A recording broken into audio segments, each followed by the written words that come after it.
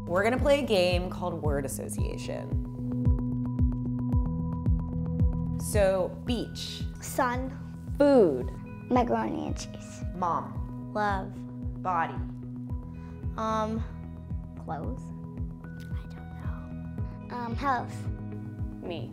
body, Difficult. Complex. A thing. Working on it. Confusing. Scary. Oh. Can you talk to me a little bit about your relationship with your body?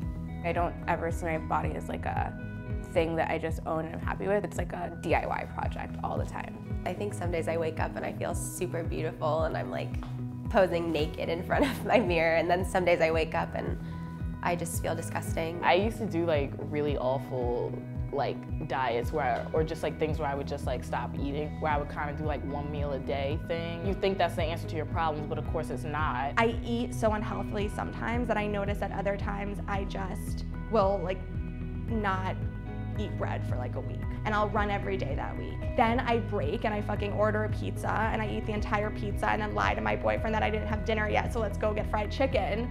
And it's like that doesn't feel good. I might not look different physically, but it just feels like I failed myself. It's stressful. Like at camp, I was 12 then, and I was like worried about how I looked in a bikini. What is it about being thin?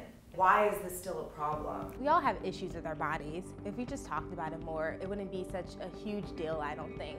I think we need to get a little more angry than we are. We were looped into this by advertisements, by parents who said, maybe you don't want a second helping. I don't know, it's just nice to be able to like actually talk to people in a real way because I would look at you and be like, bitch has it under control. You know what I mean? Like you obviously have a lot of pain too, as we all do. Can you give yourself like the 13 year old you or any of the young girls that you see, like do you have advice for them?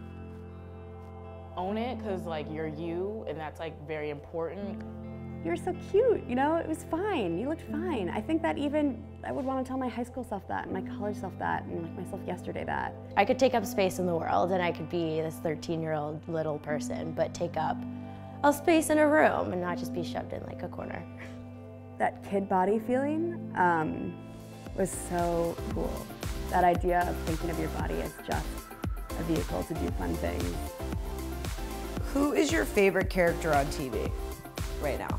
I haven't written it yet. I want to see more characters that just like show people mess up. I want to see women being less perfect. Doing the show and I'm really, really nervous. Yeah, of course you are. But you better watch it, Grandma. Oh, absolutely. oh my God, do I need another bitch sitting over there? There's like 500 of you.